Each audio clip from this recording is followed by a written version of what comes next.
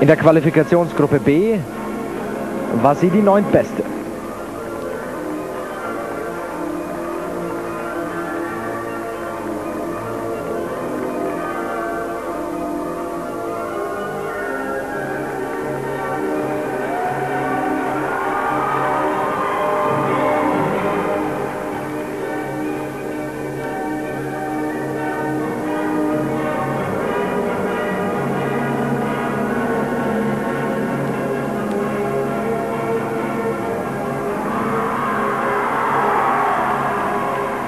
Also mit Ach und Krach hat sie diese Kombination über die Runden gekriegt.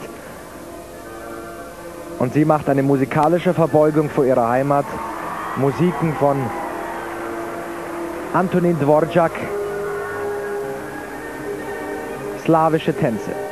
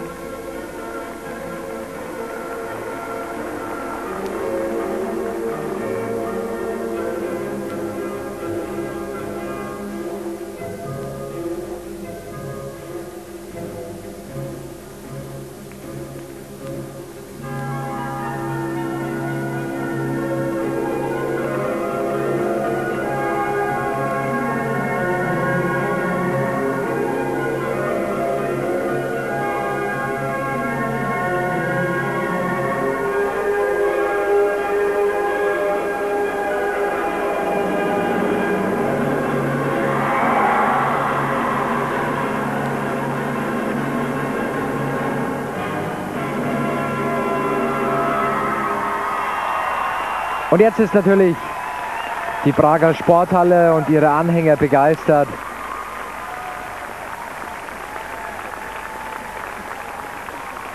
Aber dennoch gibt es Abzüge. Sonst wären ihre Noten sicherlich alle bei 5, wenn nicht sogar ein bisschen drüber.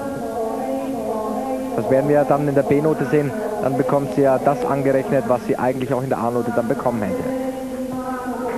Da sehen wir es also 5,0. Hier der Schnitt